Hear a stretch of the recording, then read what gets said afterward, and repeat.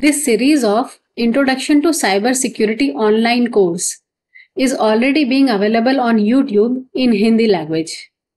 But I received suggestions from people of southern part of India, especially Maharashtra, people who have difficulty in understanding Hindi language. So they asked me to record in English as well. Therefore, I am starting this series in English so that it can reach to broader audience. This Introduction to Cybersecurity series is for everyone. No prerequisites are needed for this course. Anyone whosoever is willing to learn about the basics of cybersecurity can do it. So let's start Introduction to Cybersecurity. In this uh, episode 1, we will understand what is cybersecurity, how does cybersecurity protects our data, what does it do basically, we will explore that so when we say what is cybersecurity, cybersecurity, what does it do? Cybersecurity means something related with the cyber and security. So cybersecurity shields individuals, business houses and governments from cyber assaults and uh, they secure interconnected systems and information against unauthorized access or theft etc. So cybersecurity, what it is doing, it is shielding us or it is shielding our interconnected systems and information against any type of unauthorized access or say data theft.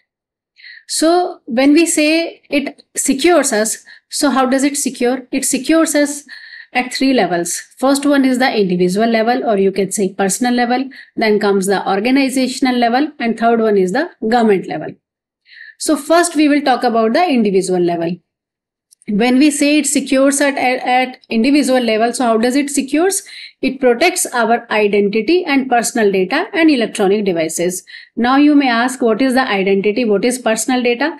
So your name address phone number age gender your financial details banking details this is your personal data.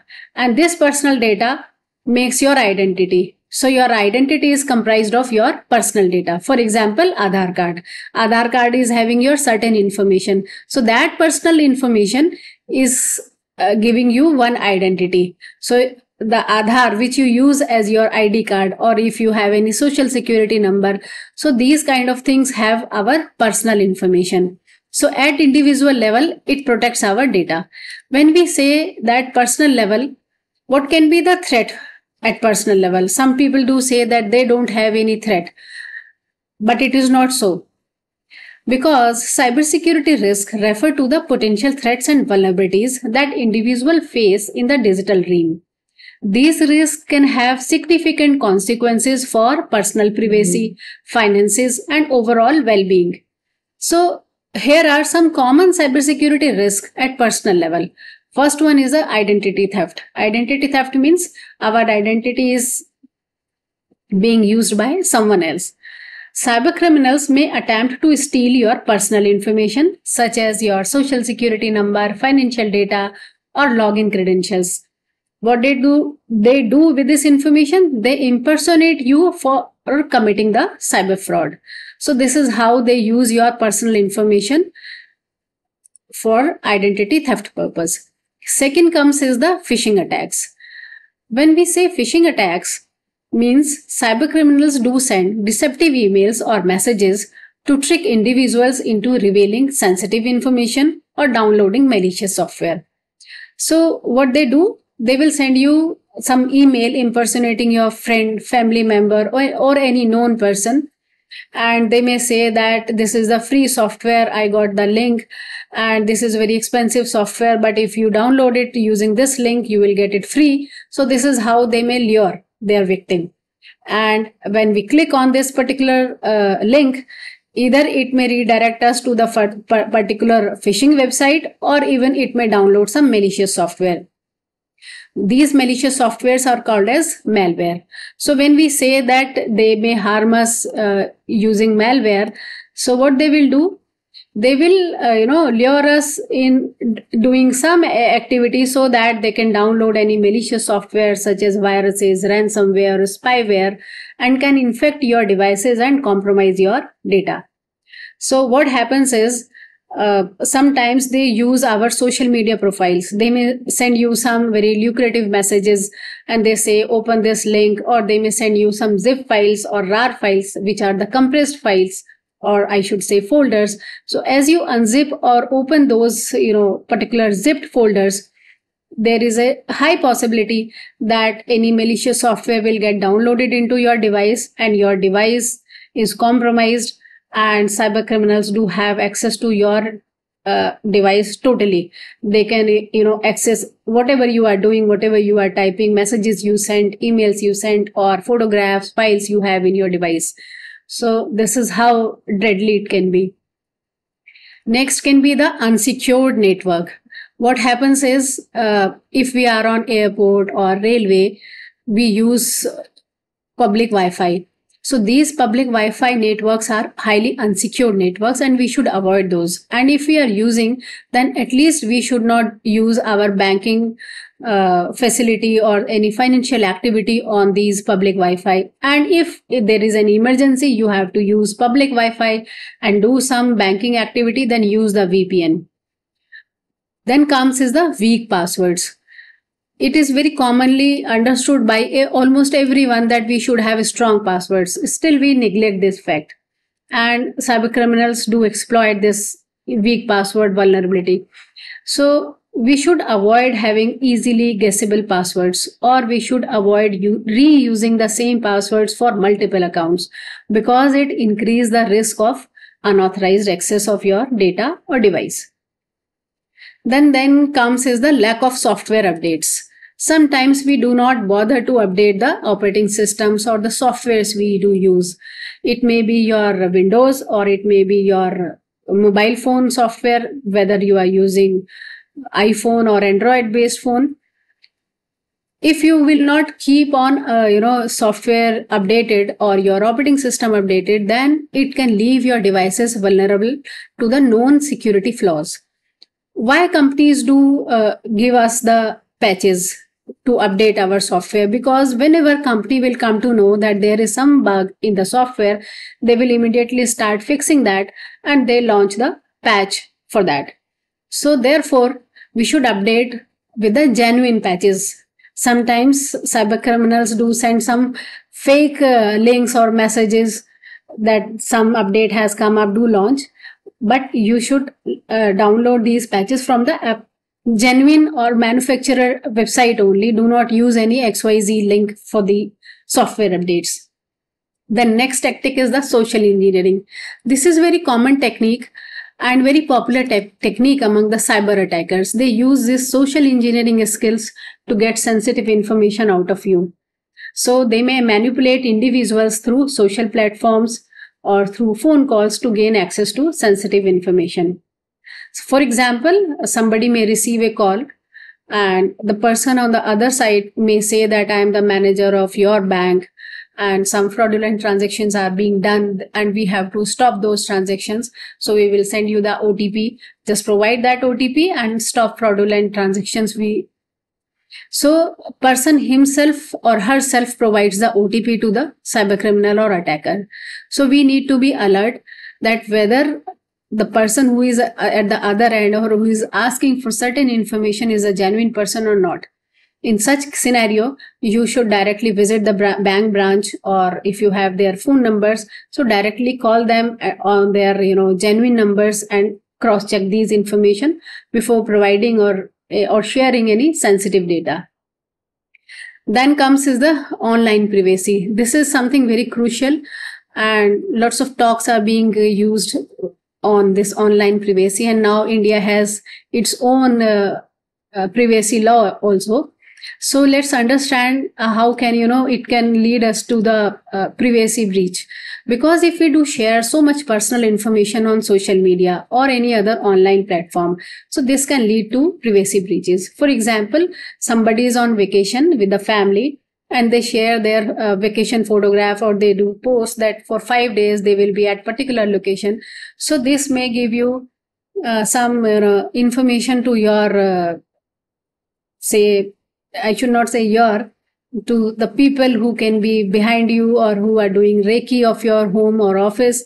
So they have now clear cut clue that you are not available at your location so sometimes you know physical theft also do happen in such cases or you know they may try to steal some other confidential information from your house or office and there can be multiple you know repercussions of this particular thing. So we have to be careful whatever we are sharing with the people on social media up to what extent we have to uh, share with them. So be mindful about it.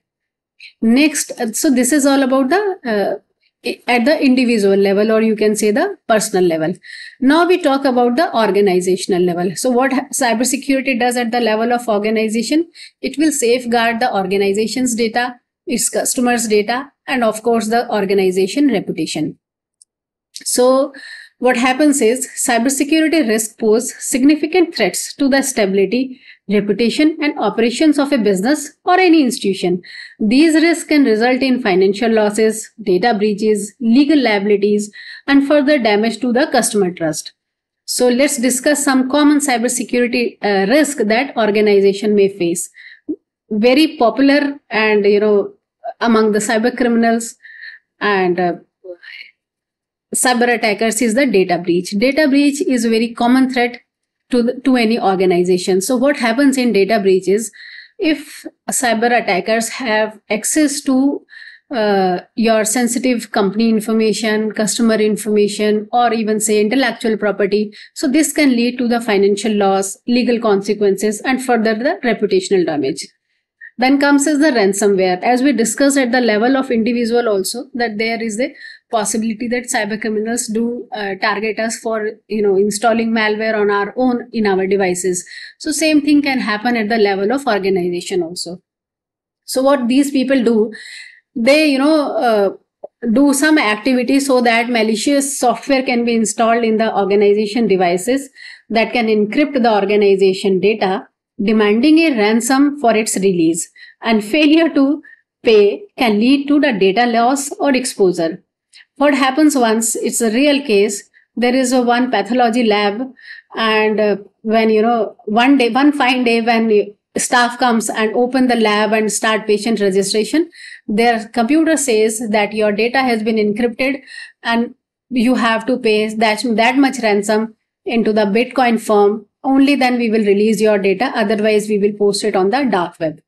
So this is how these ransomware can harm any organization and it is not necessary that even after paying the ransomware one can get the data back. Or there is no guarantee that they will not release this data on other platform or they will not sell this data. Next is the phishing attack.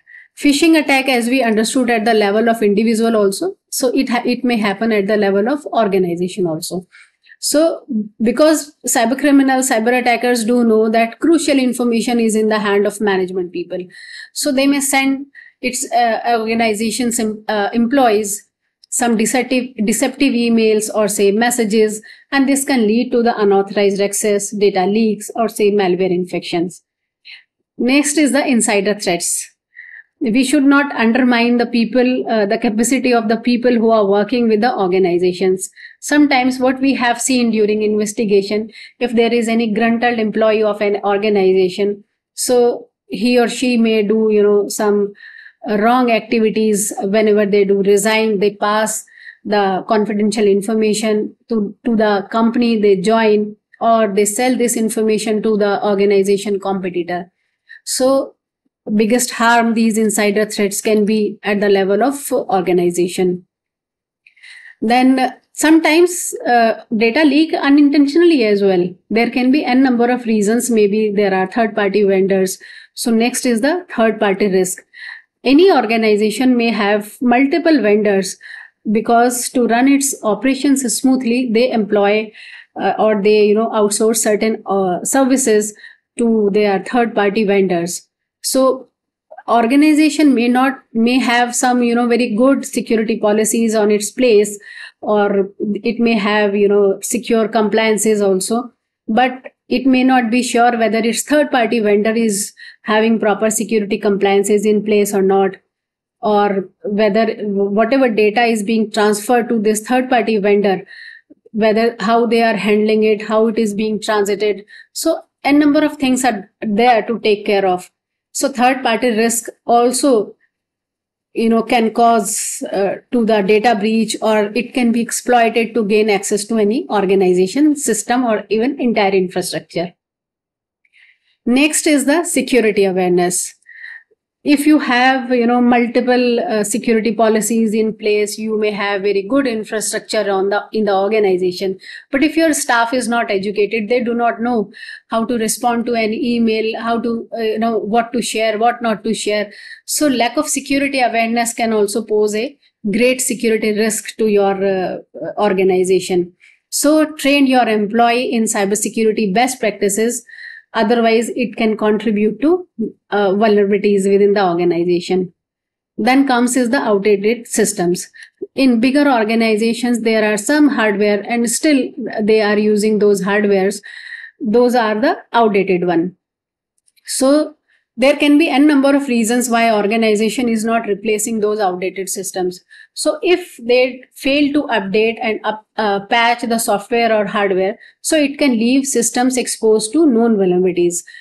So many uh, machines are available which are automating machines or say computerized machines. Uh, so and they, those are being used for you know hardware purpose. So especially outdated systems uh, have been exploited in those cases majorly. Next comes is the unsecured IoT devices. We are living in the cyber world and lots of IoT devices we use. IoT means Internet of Things.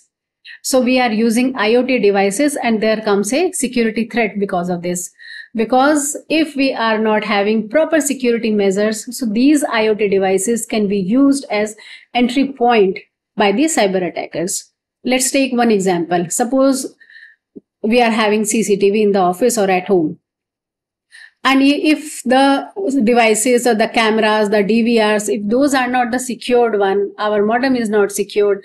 So then this CCTV can pose as a threat for you for, for the organization because cyber attackers may exploit these IoT devices and they can, uh, you know, create entry points for cyber attacks through these uh, CCTVs like this there can be so many iot devices. It can be a smartwatch or whatever.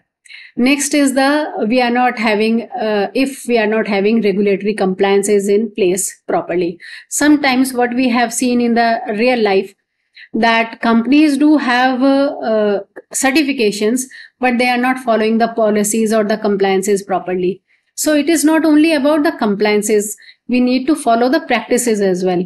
So failure to meet industry specific or say legal cybersecurity requirement can result in penalties and legal issues. And one more point is lack of incident response plan. We may have, you know, cybersecurity in place, but what if we do not have incident response plan? If our employee do, uh, do not know what to do if there has been any cyber incident within the organization. So make sure that you have a uh, security or say any incident response plan within your organization because without a proper plan to handle cybersecurity incidents organization may handle to contain and mitigate the uh, uh, impact of a breach. It will be very difficult for the organization to handle it. So always make sure that you have an incident response plan in place. So to address these risks Organizations should implement a comprehensive cybersecurity strategy that include robust security policies, regular employee trainings, strong access controls, network monitoring, incident response plans, regular security assessments, and of course, stay up to date with the latest security threats and best practices. So cybersecurity should be a priority at all level of the organization and adopt a proactive approach to protect digital assets. So this is all about in episode one for the cybersecurity, uh, introduction to cybersecurity. I will be back with episode two and we will further go on the uh, subject. If you have any query, you may write to me in the comment box. I will address your queries or you may send me the email.